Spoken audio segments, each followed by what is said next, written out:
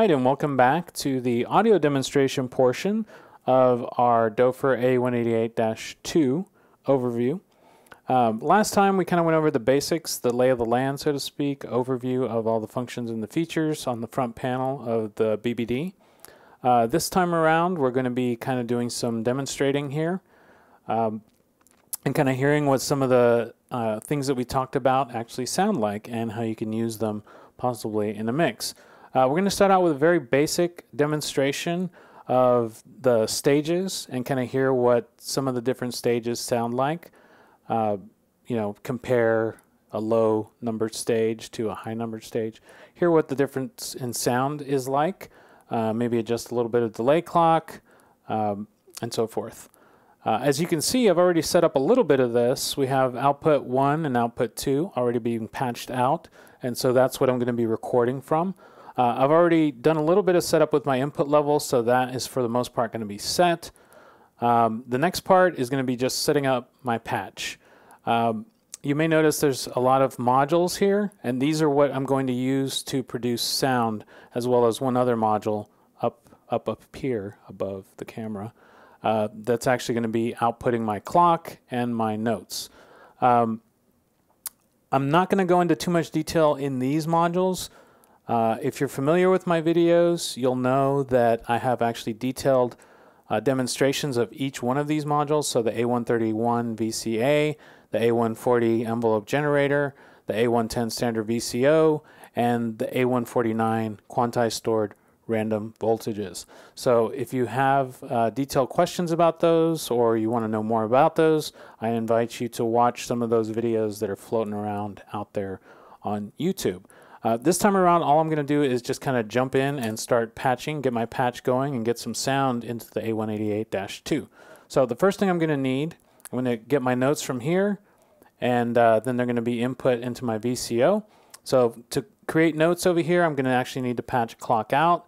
So I'm getting a clock out from my uh, sequencer up there off camera, and I'm feeding it into my clock in right there. I see a little bit of movement on my lights over here that tells me that the notes are being outputted. So I need to patch those notes into my uh, my input here uh, of my VCO and these notes are going to then be fed out into my VCA.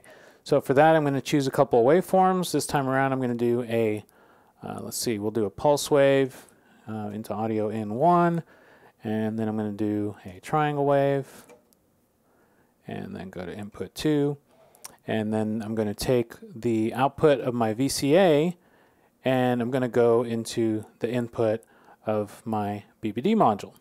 Uh, so here we go. And we're not going to hear anything because my gain over here is not actually being triggered yet. Uh, so I'm going to use the A140 right here to trigger my gain. And the way I'm going to do that is I need a gate to go into my envelope generator, otherwise this is not going to move volume at all.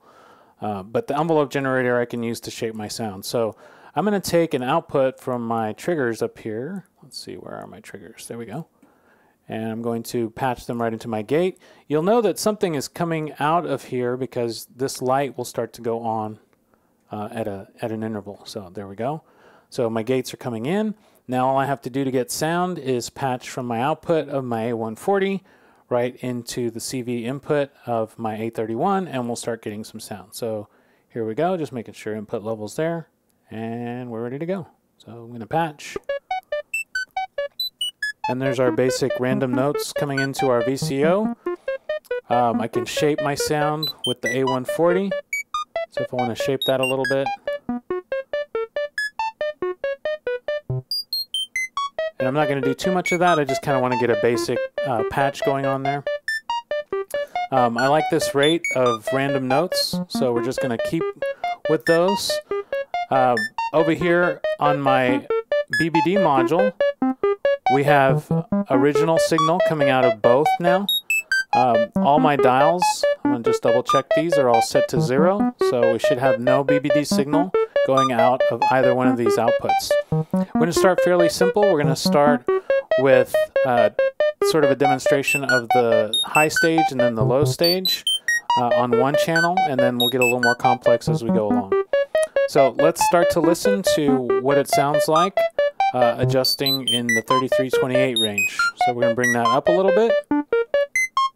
And we should hear very little or nothing because I'm only patching out original signal.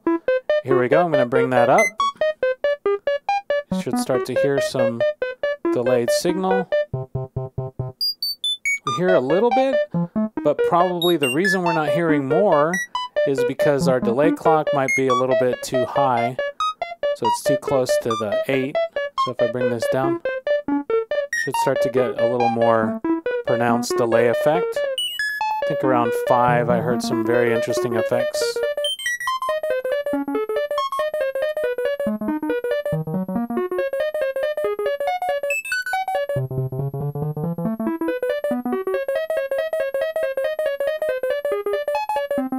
Okay, so there is our 3328 sound of the positive variety going to our BBD out and then out of output 1.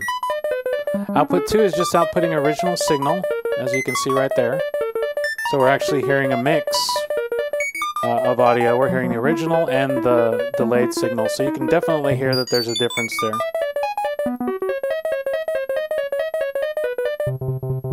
Okay, I'm going to bring it closer to the 4.5 range,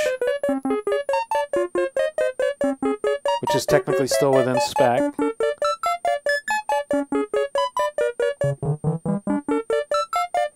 So we're getting some nice kind of effects going on here.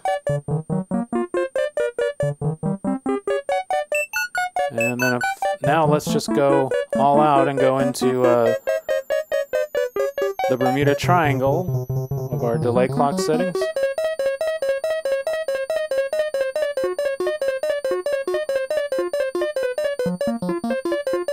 And you can hear it's kind of filling in those little gaps in the random notes. Go back to original signal. So that's our original signal. And let's pop over to BBD.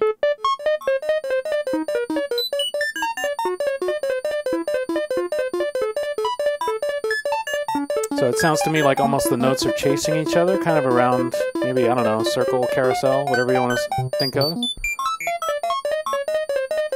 So and that's just barely outside of the range that's technically within spec. Let's let's go a little farther out for some more interesting effects.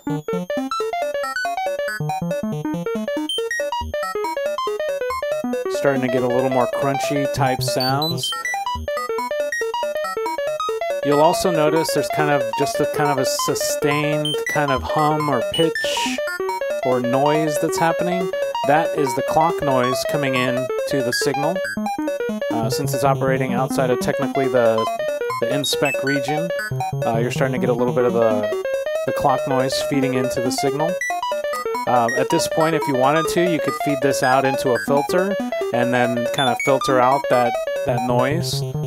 Um, or you could, you know, maybe filter out some of the aliasing that's going to happen as we go a little farther into that region.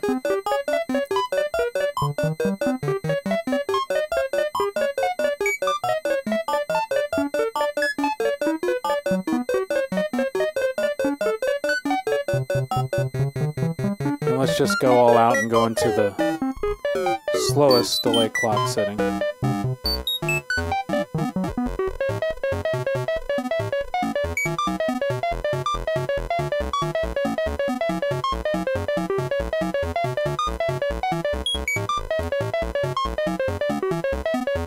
So, just just to kind of play around with, uh, let's actually hear what we would hear if only we were listening to output 2. So I'm going to actually unpatch output 2. You can hear kind of the difference because we were actually mixing a little bit of the original with it. So let's bring that up a little bit.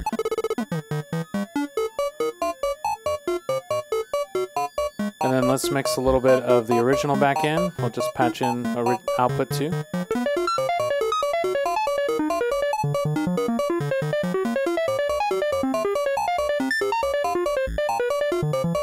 Let's go in the other direction.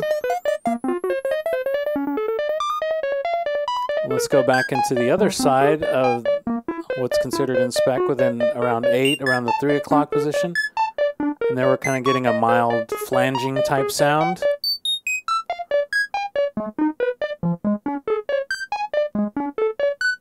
You just kind of find that happy place where you like the way it sounds, and then you go from there. Um, now, we've only been adjusting in the positive direction. We haven't added any of the negative component yet, so let's actually hear what some of that sounds like. I'm going to bring it up to zero, so we're back to original sound, and then I'm going to bring it over into the negative side. So we're getting negative uh, component of the 3328 stages going into our signal. So we should have kind of a mild flanging type effect, but in the um, kind of the closer to the eight position. So let's bring it down a little bit.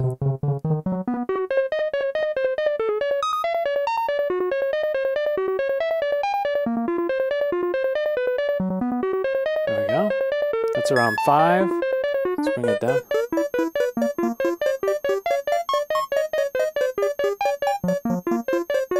And just for kicks, let's just hear what it sounds like without output 2.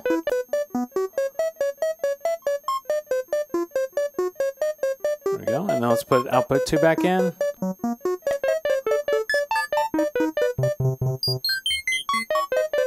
Okay, let's go a little farther. Slower delay clock.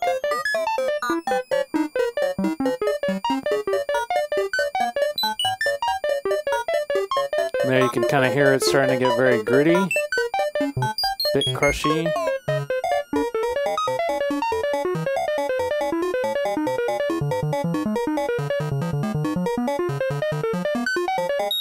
I really like this region over here. Let's bring it down even lower.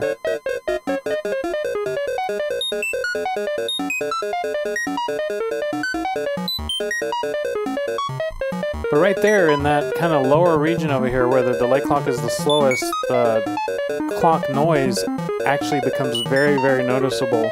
And you can you can obviously hear that. I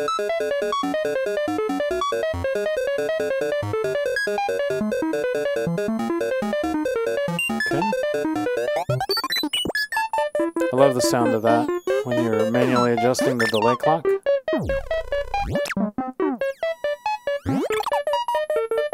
So we'll have to do a little bit of modulation later on to kind of hear some of that. So I'm going to come back to the zero position.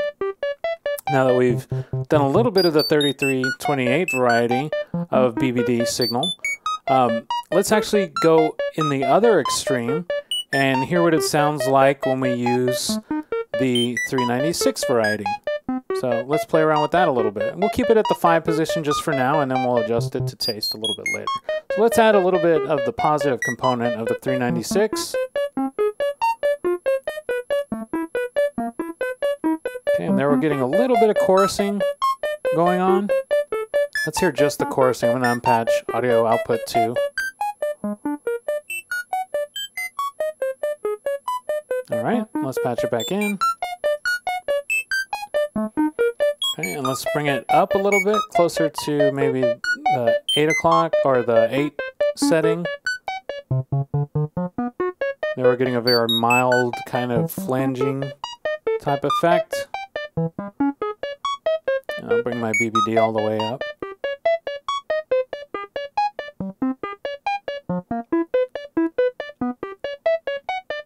Alright. Okay, we're covering good ground here. So let's kind of move it over into the top range, around 4.5. We start to hear our clock noise come back in. Very subtle at first, but it'll get louder as we go into the lower positions of this. Kind of partial to that right there, that kind of crunching, kind of ghost tones happening right after. Kind of adding subdivisions. Okay, let's go a little further.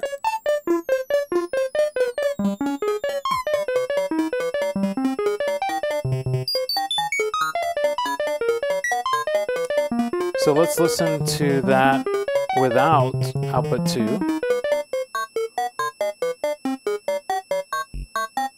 And then with output 2. And let's go all the way down to the bottom.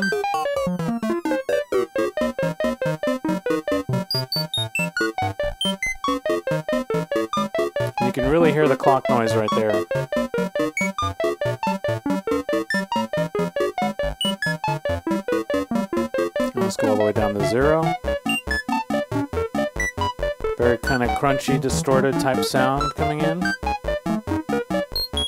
And we haven't even added any feedback yet. Keep that in mind too. Alright, so let's bring this up to the zero position. And then let's bring it into the negative component. We'll work our way backwards this time. We're in the slowest position of the delay clock in the negative component of that, the 396.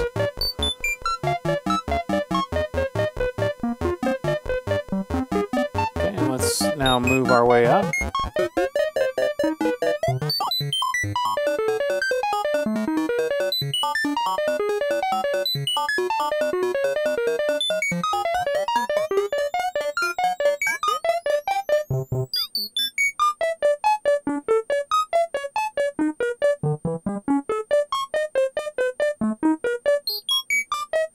So we're at about the 5 o'clock setting. Let's move closer to 8.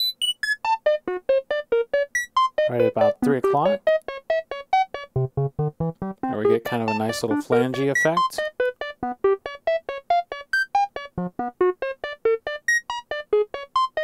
I'm going to adjust my distribution just a little bit, just to kind of vary the sound a little.